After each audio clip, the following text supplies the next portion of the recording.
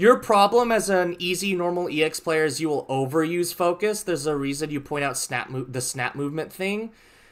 I mean, well, the snap movement thing is something you just need to practice the Mountain of Faith spell. I think if you practice Mount the Kanako's last spell, that'll teach you how to do snap movement. Snap movement is I'll show you. I, I there's there's probably another uh, I don't know the actual terminology for it. Shinobuji calls it snap movement. Um which I think that's pretty that that's that's a pretty good name for it. Snap movement is what you use for capturing Mountain of Faith. So like snap movement, you use it if you you can't you probably won't be able to capture Mountain of Faith with it. It's this.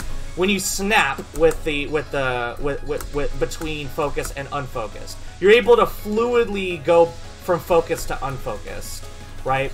And I think this spell right here, this spell in particular, is the best spell to teach this, right? And after, I think that this spell made me a much better player in general.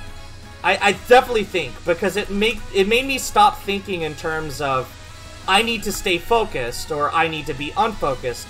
It made me be able to control my character much better, much more fluidly, right? This this spell. And I would actually highly recommend to anybody who wants to get into Touhou, who wants to like maybe tackle higher difficulties, to learn how to capture this spell in particular. Even if you're just doing 1cc, whatever you're doing, I recommend going through this spell and learning it because it's it does so much for your for you in terms of fluidity with your movement.